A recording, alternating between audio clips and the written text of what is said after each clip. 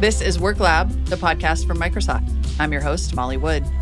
On Work Lab, we hear from experts about the future of work, from how to use AI effectively to what it takes to thrive in our new world of work.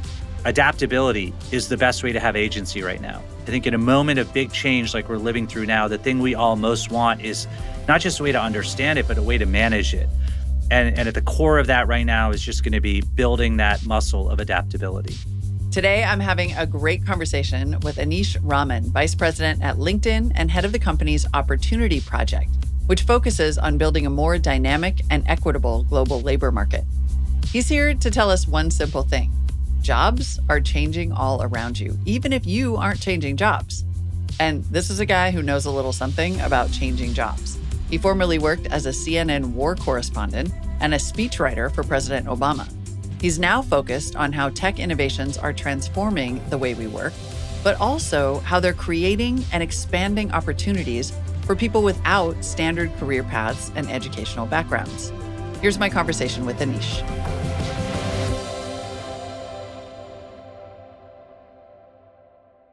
So, you have had a remarkable set of careers journalist, author, speechwriter for the president, advisor to the governor of California, now an executive at LinkedIn. Has there been, could you say, a through line to all of these tasks and jobs? Up until recently, it was hard for me to articulate a through line. And that was hard for me just personally because I found it hard to explain my career. It was a classic squiggly line career, but across every job, explanatory storytelling was core to what I did. That was true as a reporter, it mm-hmm. was true as a speechwriter, it was true in all the roles I had in tech and with Governor Newsom. I am a storyteller. Well, a squiggly line is kind of an increasingly common career path. Let's talk a little more about that. How much jobs really are changing and how we should deal with that.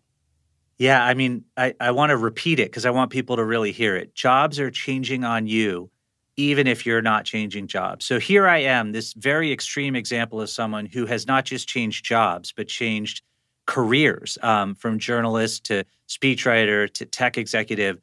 And so it can be easy to say, well, that's someone else. But everyone is a version of me, uh, even if you don't realize it, because the way that technology has changed what we do at work has already had an impact. 25% of the skills required to do jobs have changed over the past eight years uh, by our data but 65% will change by 2030. 65% of the skills required for a job will change by 2030. That's basically a new job. Tell me what that means. Like, I'm doing a job right now. I yeah. think I know how to do it. And 65% of that is going to be totally different. Yeah.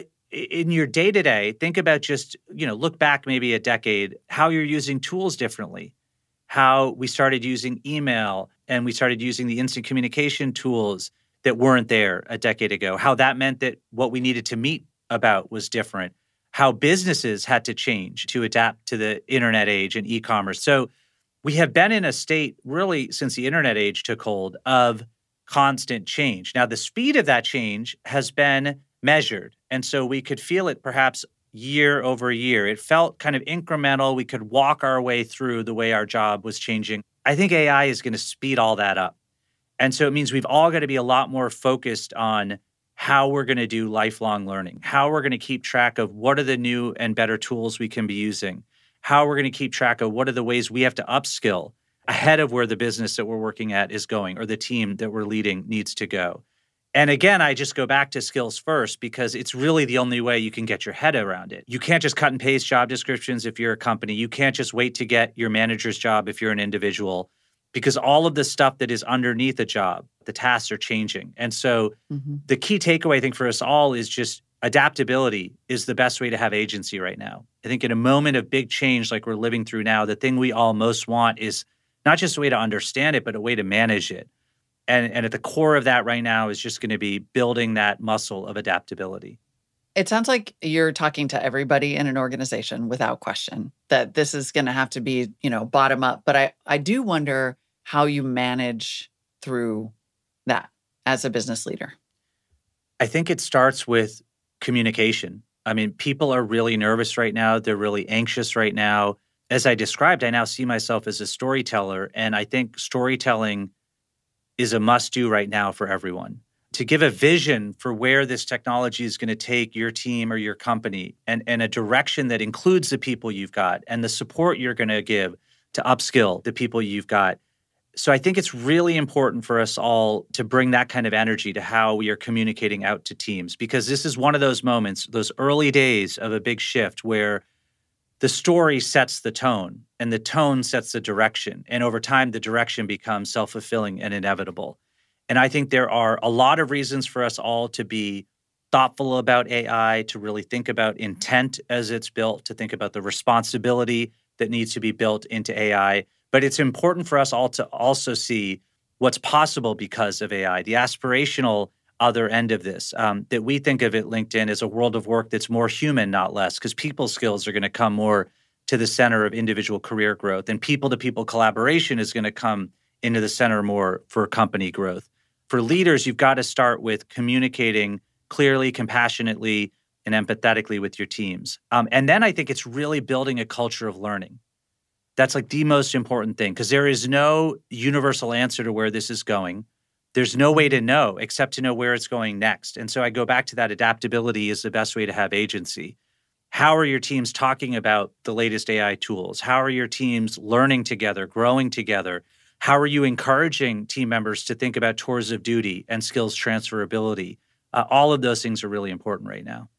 Well, and a culture of learning is also a culture of training and a culture of time and patience. Like it seems to me that what we're talking about in large part is a leadership structure that says we want to help you develop these skills as opposed to set an expectation that you will spend all your nights and weekends learning about this when you're not on the job. And that could really change work days, I would imagine. Employers are going to become educators more and more. And the good news for employers is that, and employees, a lot of that is going to be on the job. Uh, one of the things I like to ask the audience at any panel I'm at is to think about the job that they're doing right now and raise their hand if more than half of what they do in their job is based on what they learned in college or the degree they got. And very few, if any, hands go up. Then I say, raise your hand if most of what you do in your job is stuff you learned on the job or in previous jobs. And almost every hand goes up. So the idea of learning on the job is not new. It's going to get faster and more complicated now. But a lot of this is going to be just how in our day to day jobs we're starting to upskill and learn, not something we do separate from work, but within work. I'm a good example. I am someone who writes a lot as my job, and I have been working with ChatGPT a lot to help me get through a first draft, to help me refine positioning, to debate with me what core themes are. That is now embedding into my workflow, and I'm getting really good at prompting. So that's the kind of learning I think that companies want to encourage and that people should feel excited about because, again, I really think AI will be a tool, and humans have, have built and perfected tools over millennia to help us do more of what we love and to help us do the work that we love to do better. Okay, talk to me more about debating Tell me more about the prompts that get you to engage in a back and forth. Are you really doing that? It's super cool. Yeah, I mean, I, I did a um, post recently on LinkedIn about how I think philosophy and the study of philosophy is going to become this it skill across all these different areas of how AI is going to affect work, about social cohesion, ethics, uh, lifelong learning, resilience. And as I was building that, you know, there are a bunch of different ways you could you could describe philosophy as relevant to the changes hitting work. And so I sort of did this starter and I, I, prompted it with assigning it who it was. You are a speechwriter helping me out. I am described what I'm working on, thinking about a post that talks about philosophy and its role in the age of AI. Um, some notes, uh, but really, I was I was trying to get to what are what do I think are the core themes, the core takeaways for people. And I had a couple. I asked it for ideas. It had a couple. Some were good, some were not. And it was in that back and forth that I was able to really articulate these different ways that I think the study of philosophy will help us. That's just one example. As you hmm. think about any sort of content you're doing, any sort of meeting that you're leading, any sort of moment where you are trying to inspire new thought, a lot of that work is really hard at the front end because you're taking this kind of abstract idea and trying to get it to paper. And I have found that AI is helping me speed up that front process so I can spend more time on the stuff I love most and that I think I am as a human best positioned to do. You have talked about how it's important to think about skills as kind of naturally dividing into three buckets. Can you tell us? You've given us some examples, but can you tell us more about what those buckets are? Yeah, I mean, I think, you know, for me to come up here and say AI is a big deal, uh, which I think it is, and that it's going to change, you know, how we work and how we live. It's going to change how we work and how we live in different ways based on your sector or function. That's like a lot to manage. Um, it's a really complex, nuanced moment of big change. So, I like to also offer up what I think is the best way to feel some agency, something actionable in managing that. And I think that is skills. And here's why. Probably the biggest impact of AI on work is that it, I think it's going to force us to redefine jobs not as titles, but as a set of tasks. So if you take your job and you put aside your title and you think about, let's say, the top dozen tasks that you do on any given day, what you can do now is break those tasks into three buckets. The first is tasks that AI is ready to do almost fully for you, summarizing meeting notes, even writing code in some instances. The second bucket are tasks that you're going to do with AI, and prompting is the best example of that. And then the third are tasks that require your unique skills, your people skills, creativity, collaboration. So everyone can do that math. And if your job or your team or your workforce is heavy on that first or second bucket, that's a good indication that it's time to upskill. And then everyone should be thinking about that third bucket where we have the most competitive skill set, uh, which is the people skills. So again, like you could break jobs into tasks, and then with a skills first mindset, we can all starting today know where we're at and what we need to do to feel agency right now.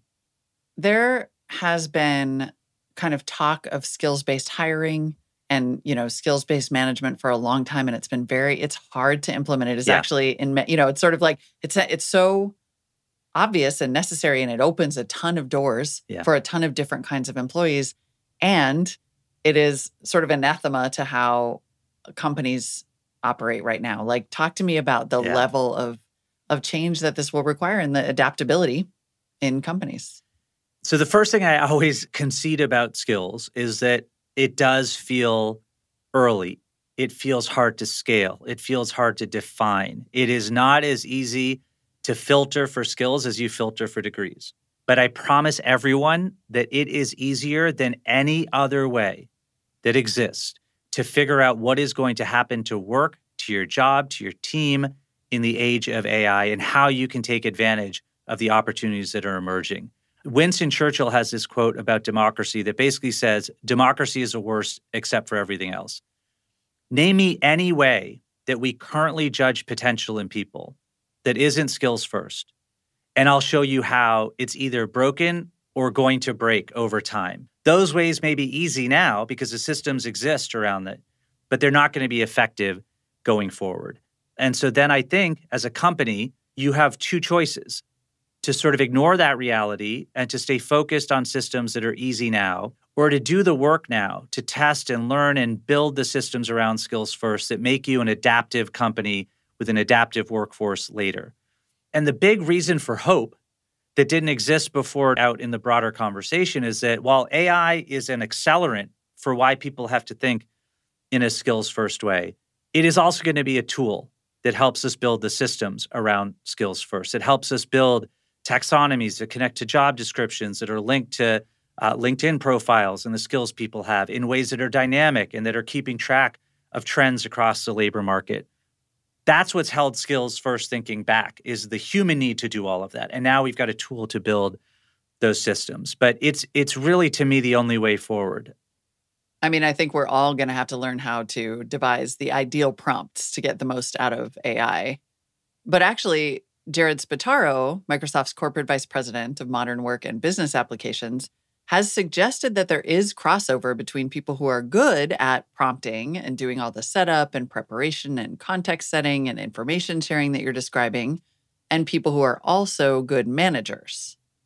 And I also think the people part of managing is going to become more and more important because a lot of what it is to manage that the tools and that AI could help uh, us now do in terms of tracking budgets and making sure priorities are aligned and all these things that we might be able to now through a tool be able to have visibility on and, and track against it's going to then open up the space and open up the need for managers to be focused on the people part of managing. And that goes to the people skills that I really think are going to come to the center of the labor market empathy, collaboration, listening, and leading by listening.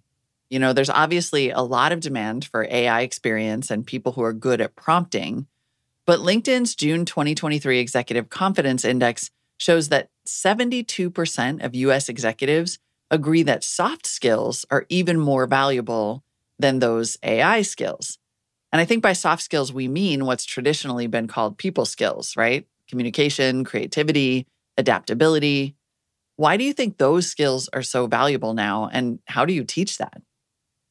Soft skills have always been core skills uh, because they are skills we uniquely do as humans. If you think back millennia, not just centuries, and two or more people doing something together, buying or selling, investing, building, hiring, executing, it's all that happened before technology around that. How did I build a relationship with you, talk about the product I have in a way that was something you wanted to buy? How do I collaborate? How do I empathize with where you're at so when I communicate with you, it's something that that lands with you and isn't just me talking over you or at you, all of those things. What's interesting is that over the past few decades, because of the internet age, when we think about workforce development, so much effort has been understandably on technical skills, computer science degrees, coding boot camps, educate around and credential uh, technical skills. We now, I think, are going to have to do that for soft skills. And that is a big new challenge for us in terms of workforce development. Again, I think AI will help help define soft skills uh, in an aggregate way, help us do credentialing based on contextualizing skills like I do on my profile. Millions of skills are getting added every year on LinkedIn profiles where members are saying, These are the skills I used to do this work. What does it mean to communicate? And where did you do it that led to a deliverable that you can show? At one level, I think you'll see a little bit of a recalibration where all of this funding and, and energy went to the engineering departments on college campuses. I think the humanities will have a bit of a renaissance. Um, but also, again, the shelf life of a degree is shrinking pretty dramatically. So, how soft skills are applied to this changing world of work is going to change. And I think that's going to mean workforce development, not just going into college, but after college and across a career, is going to have to account for soft skills now as a core skill for us to identify and credential. I love this idea. I think, you know, this is it's particularly a conversation when you talk about, for example, women coming back into the workforce yes. or hiring veterans or just at more equitable hiring overall. You are, I should say, speaking as someone who is a Harvard grad and a Fulbright scholar. And it sounds like you're kind of saying you want those the importance of those titles to fade into the background over time. Well, I would say I would like them to be less relevant to how I succeed or how anyone succeeds in their career mm-hmm. because I think they are not in and of themselves an issue, but representations of a labor market that has really required pedigree signals to get ahead. And we know that pedigree signals often come from privilege. What I am excited about with skills first thinking is that we can finally put an objective data set underneath the labor market so that people match talent and opportunity in a more efficient and equitable way. If you look at the history of work, for most of human history, you inherited work. You did what your parents did. That's wildly inefficient and unequal. Then you had these industrial revolutions, and they opened up new opportunities for work. And over time, uh, college especially, but higher ed and education generally, was meant to be the mechanism of mobility. No matter what station I was born into, I could learn my way into new and better jobs. That model has had a bunch of challenges hit it over time, not just least of which is cost of college, but also the way that curriculum is developed, it's really hard to tether that to the changing dynamics of work to make sure that as you develop curriculum, when you're done, it's still relevant to where work is and is going. And all of that means I think that we've got this opportunity now to take the guesswork out of work, to put skills at the base of it. And with that, college will still be an important credential, but create other ways, other credentials for people to come into and across the labor market. And to really, you know, challenge some of these baked in inequities the gender inequities in the labor market. A lot of the, the roles that have the people skills associated with them are often undervalued and underpaid uh, because we have focused so much of value around the technical skills. I think that's going to shift. Uh, if you look at home healthcare workers as an example, a profession that is a very high skilled profession that we will start to, I think, better describe as high skilled. So I think there's a a great equalizing effect, a great democratization of economic opportunity that's about to happen, spurred by the age of AI. Let it be. Lord, let it be. We, you know, we we tend yeah. to have these conversations anytime sort of a new technology that comes comes along that's going to enable greater efficiency. But it is it feels really transformative now to be talking about these skills in such a different way. Well, as a storyteller, my first reaction is we can't just say let it be. We have to say make it be. And I think right now the story really matters. Our ability to articulate a vision for AI that will democratize access to economic opportunity will make it more likely that the people who are around the systems of workforce development start to align it in that direction. But I'll take you even one step further than just equalizing opportunity in the labor market in terms of how I see the potential for AI. You know, a lot of the discussion about AI has been on how it will help reduce the drudgery of our day, the repetitive tasks we do that are not fun. But I think some of the most powerful impacts of AI will come in reducing the barriers in how we communicate with each other. One of the most important skills in the world is communicating to someone else in a way that isn't just about you talking at them with a focus on what you're saying, but talking with them with a focus on what they're hearing. That is tremendously difficult to do because it requires understanding where the other person is at and bringing empathy to how you communicate. That becomes impossibly difficult to do as you think about divides across geography and culture and language and sector and function and market. All of these barriers have existed for some time now that make it really difficult to talk human to human. And I think AI is going to help us all get better at that. It's going to help us in real time break down those barriers to communication that I think will lead to higher quality conversations and more meaningful collaborations.